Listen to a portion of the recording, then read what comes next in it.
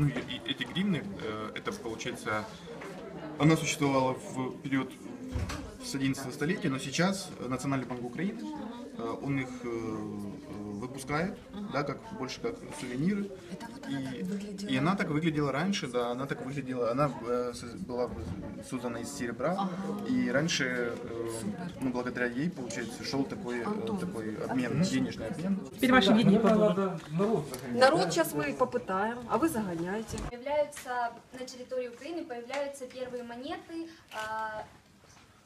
А, Они появились а, благодаря колониям греческим, то есть Ольвии, Пантикопея, Херсонесу. А, Эти монеты уже изготовля- изготавливались из а, драгоценных металлов. А, Изображения были самые разные. У нас, у вас автор. А, Эта Любитель. выставка, эта выставка была задумана, наверное, год назад. То есть с момента э, задумки до реализации прошел фактически год. все это время мы общались, э, скажем так, с неравнодушными мариупольцами, которые располагают вот, э, материалами, нужными для нашей выставки. Э, вот материалы, которые представлены здесь, в принципе, вот по крупицам были представлены что-то во временное пользование, что-то в постоянное пользование нашему музею.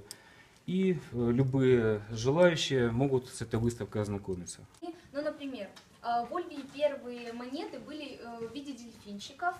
Эм, Далее, в Херсонесе э, изображения чеканились зачастую, э, ну, изображали богов, которые олицетворяли э, поклонение. Эти, эти, прошлись. эти вещи, я уже говорю, да, вот э, они собраны по крупицам у людей, неравнодушных к истории города Мариуполя, которые смогли кто-то на время, э, кто-то в постоянное пользование предоставить вот эти монеты, эти купюры.